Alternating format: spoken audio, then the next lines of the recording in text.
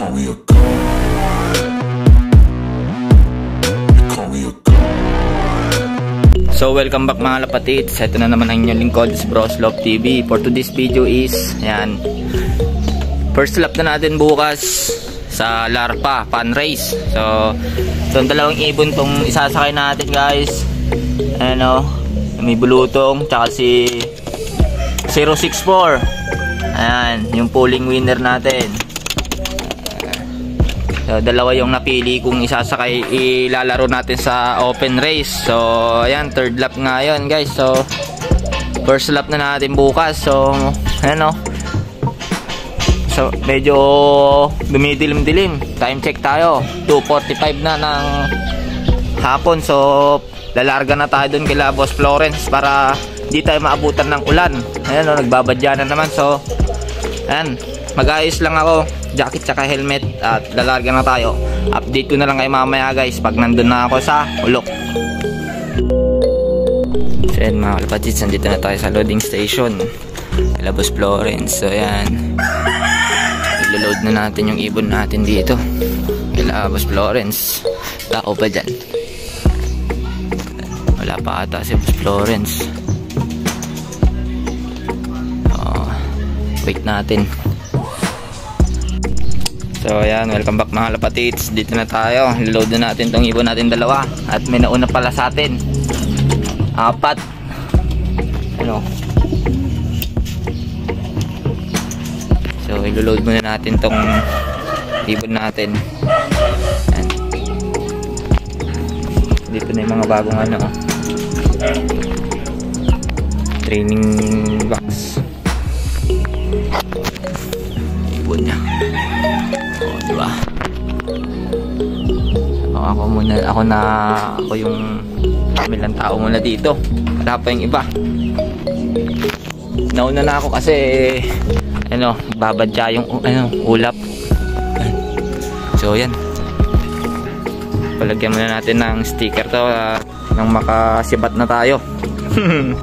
so, yan, galapatids. Tapos na natin na-load yung ibon natin yung dalawa. Si si Bulutong tsaka si si 064 ayun nagkakamot pa rin halatang pinaliguan sa Zero Mite at ayan yung kay boss Stephen oh. Sa akin to, kayo na to. ay hindi ba Jericho Rosales. kay Jericho Rosales pala kay ibon niya oh. Ayan, oh. oh. Naka-larpa banded Pero dining kami. Dining ako tatlo kilo. Ayan Wala? nakapalista na ayan Next. pa-load na tayo ng ibon at ayan ang ganda ng mga ibon niya ayan kusunod ako itim mo yan so ayan kalapatits update ko na lang kayo mamaya kapag nakauwi na tayo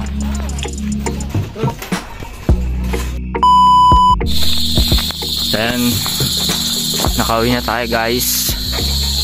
Ito sa loft. So ayan. Naubos na siguro yung ay hindi pa rin nila naubos yung patuka dito. Niwanan ko na kasi ng patuka. Time check tayo. 418 na so yan hindi, hindi nila naubos. So bukas ubos yan. Hindi ko natatanggalin yan dyan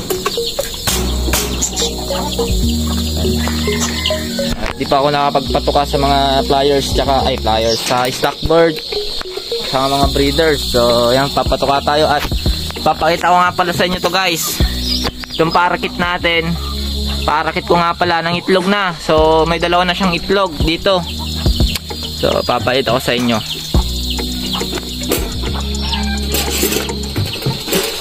Ayan o ayan o ayan may dalawa na so sana dumami. Sisimula na silang mangitlog. Ayan o yung put yung nasa baba yun yung nangitlog yung babae. So ayan. Lock ko muna kasi ano to may lock to guys. So ayan nailock na natin yung pinakalock nya ayan o halambre lang. So ayan sana dumami tong lovebirds natin. So ayan pumasok na naman yung babae. Ayan o At ayan, papatuka muna tayo ng ibon. Ah, papatukain ko muna sila. Ito yung patuka natin. Ayan. Fly high. So, patukain ko muna sila guys. At, ayan. Balikan ko na lang kayo, update ko na lang kayo bukas kung na-release na yung ibon at ayan, kung nagising na tayo. So, ayan, update ko na lang kayo bukas para di na lang humaba tong video. So, The next morning.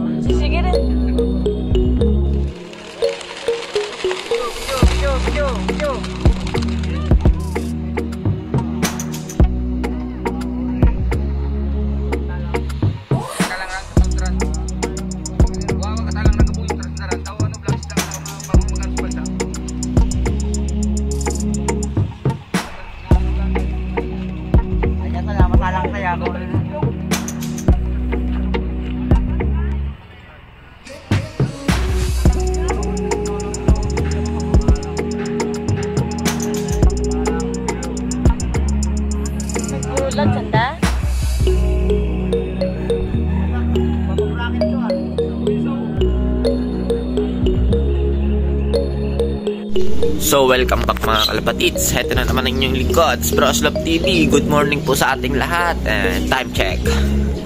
7.18 na guys. So, yung ibon natin is na-release na ng alas 7. So, late na rin tayo nakapag kapag video kasi nga nanood pa tayo ng live ng nagtos so alas 7 ng umaga ni-release yung, yung ibon natin sa Burwang Aklan so first lap na natin ng pan race so dalawa ngayon sinali nating ibon so may 19 minutes na silang lumilipad at maya maya is estimated ko siguro mga 8 8 8.20 or 8.15 basta mga mahigit sang oras nandito na yung mga ibon natin na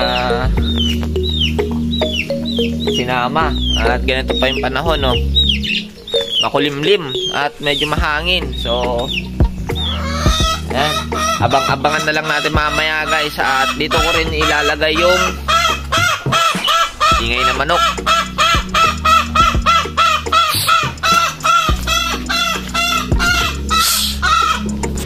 Ingay manok.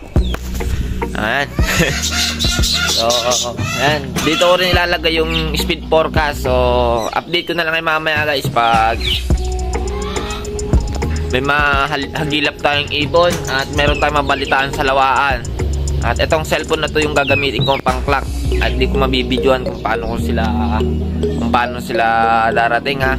So ayan update ko na lang mamaya So, welcome back mga lapatids. Ayan, time check tayo. 8.10 na ng umaga. So, wala pa rin nagka-clock sa first dropper natin dyan sa lawaan. At maya maya siguro onte ay nandyan na yung ibon natin kasi malapit ng mag 1.2 speed. Ano, um, 8.19 1.2 speed. Pababa. Pababa na ng 1.1. So, ayan. Wala pa naman nagka-clock sa mga first dropper natin dyan sa lawaan tayo is magtamang chill muna dito at mag-abang So maganda naman na yung panahon. Kanina makulimlim. So ayan, lumabas na si Haring Araw. So ayan, update ko kayo mamaya guys pag meron tayong mapauwi. Sana mabidyoan natin bago ko may clock para may dagdag sa video natin to. So, ayan. So welcome back mga lapatits. Ayan, nag-clock na si Bernie tsaka si ano, si Migo Bernie tsaka si Meg Romy. So ang speed niya is ano 1081. Sa yung isa di ko na mala di ko napansin 1000 din. So ayan malamang sa malamang nandiyan na yung ibon natin. Malapit na. So time check 826. So sana nandyan na para Maga tayo mag-clock. Mabilis.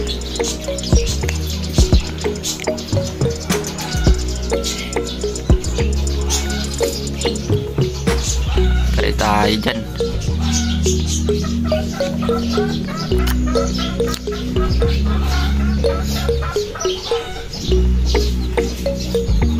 Time check. 8.27 So habang papalapit ng papalapit yung ibon. Pabilis naman ng pabilis yung oras. Kapag naghihintay ka ng wala pa nga, wala pa yung alam mong wala pa yung ibon ang bagal ng oras. Pero kapag palapit na ng palapit pabilis naman ng pabilis tong oras? Ewan ko ba? So ayan abang abang pa tayo. Mamaya nandyan na yan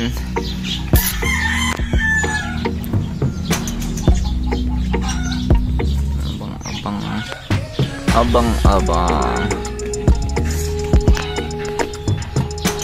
Ayun na, 8.28 na. Kakasabi ko pa lang ng 8.27, nag 8.28 na.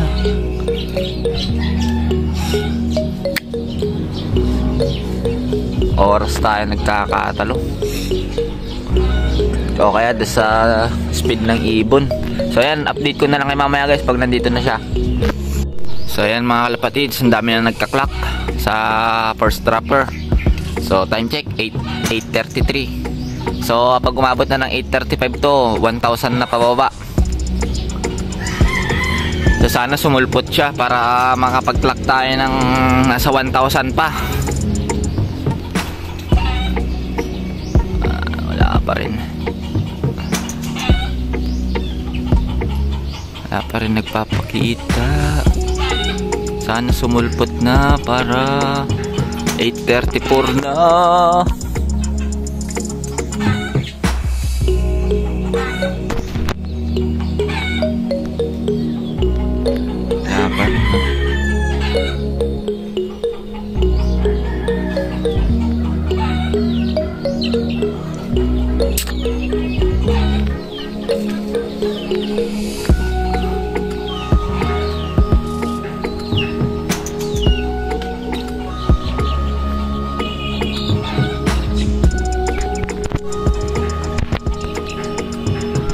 34 na. Malapit na mag 1,000 nasaan na kayo?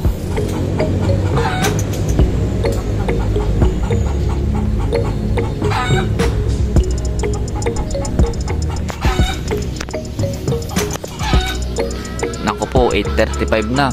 Ayun na 1,000 na lang yung speedan natin.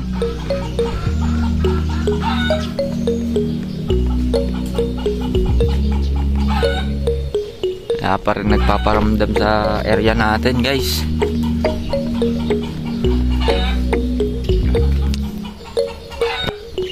Yan na. Hindi na tayo makakalusot sa pooling.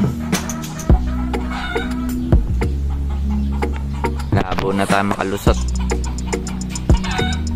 So yan, update ko kayo mamaya guys para dumaba. So welcome back mga lapatits. 8.48 na ng umaga. So 800 na lang yung speedan natin guys. Wala pa rin yung dalawa. Hindi pa rin nagpaparamdam. Ayan, ang dami na nag-clock dyan sa first dropper. Saan na kaya sila? Yung dalawa natin, nasan na kayo napunta?